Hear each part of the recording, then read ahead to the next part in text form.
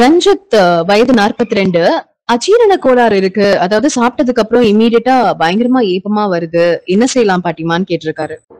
ரஞ்சித் அஜீரண கோளாறு இருந்தால் நீங்கள் காரம் புளிப்பை குறைச்சு சாப்பிடுங்க. இந்த உருளைக்கிழங்கு வாழைக்காயெல்லாம் சாப்பிட வேண்டாம்.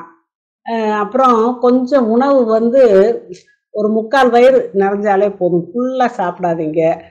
இந்த ஓமத்தை வறுத்து அது கூட கருப்பட்டியை போட்டு நுணுக்கி வச்சுக்க இந்த மிக்சியில் போட்டு கூட அடித்து வச்சுக்கோங்க ஒரு டப்பாவில் அப்பப்போ அப்பப்போ அடிக்கடி. ஒரு ஒரு சிட்டியை எடுத்து வாயில் போட்டு நல்லா சப்பி உமிழ்நீரோட முழுங்குங்க. சுடு தண்ணி அடிக்கடி குடிங்க. இப்படி நீங்கள் அந்த ஓமங்கருப்பட்டியை கொஞ்சம் கொஞ்சமாக நீங்கள் சப்பி சாப்பிடும்போது நீங்கள் சாப்பிட்ட உணவு ஜீரணமாயிரும்.